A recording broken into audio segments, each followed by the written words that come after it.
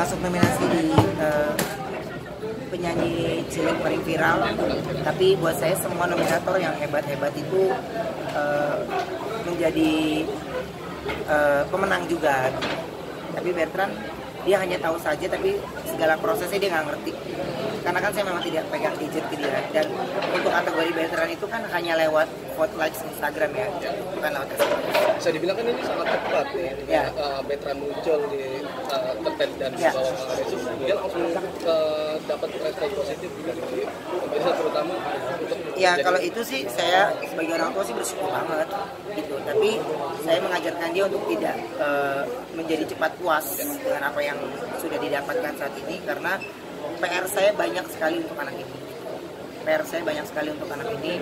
Jadi saya sama Wenda pun eh, sudah nggak mikirin keringat lagi, udah nggak mikirin apa pun. Yang pasti anak ini harus eh, maju, ya baik dari segi pendidikannya ataupun juga karirnya. Nah itu semuanya butuh proses mas.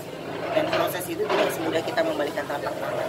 Terutama perbedaan budaya, perbedaan eh, eh, apa namanya pendidikan pada saat di sana di sini kan memang ada beberapa eh, mata pelajaran yang sedikit eh, berbeda yang dari veteran terima. Ya, tapi veteran sendiri tahu nggak sih uh, yang itu dia masuk uh, ke tahu tapi dia mah nggak pernah nanya. Orangnya lempeng aja cespleng nggak pernah nanya nggak pernah ya karena itu saya bilang karena dia tidak tahu kalau dia lagi ramai di eh, sosial media untuk mendapatkan kategori itu. Jadi ya kami juga sekeluarga yang nge like nge like aja. Selebihnya juga nggak nggak kampanye yang eh like ya like ya. Nggak.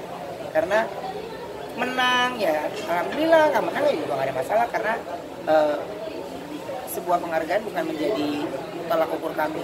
Tapi sukses menjadi tolak ukur kami. Jangan apa sih yang akan kita pensiunasi artinya kan mengingat apalagi di dunia entertainment di zaman sekarang terutama anak-anak yang maksudnya uh, udah mulai ngerti cinta-cinta pacaran kayak gitu. Kamu itu ngebatasin nggak dalam hal itu? Enggak, justru eh, rasa ketertarikan Bertrand dengan lawan jenis itu masih sampai dia kagum. Cantik ya dia ya.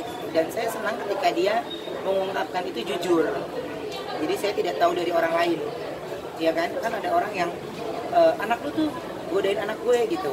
Jadi kalau ini kekagumannya dia tuh ngomong sama ayah bundanya dan eh, ada eh, teman tadi ada kakak ketemu orang cantik ya ayah jadi ada rasa kekagumannya dia sama wanita masih sebatas itu dan itu maksud saya di usia 14 tahun masih wajar ya besok sendiri su- ngasih eh, jangan maksudnya di usia berapa sih? Dia harus yang ibaratnya nggak apa deh namanya pacaran cinta-cinta monyet gitu. kalau saya berharap selama belum melewati 17 tahun jangan ya. Karena eh, saya tidak mau anak saya ke distract akan eh, berantem dengan ini cekcok ini buat saya enggak lah.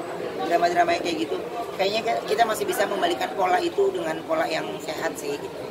Mudah-mudahan eh, saya bisa mengarahkan Bertrand dan untung dari Bertrandnya itu nurut. Gitu. Jangan gini kak. Gini kak. Gini kak. Dia nurut aja sih. Apa kata ayah bundanya nah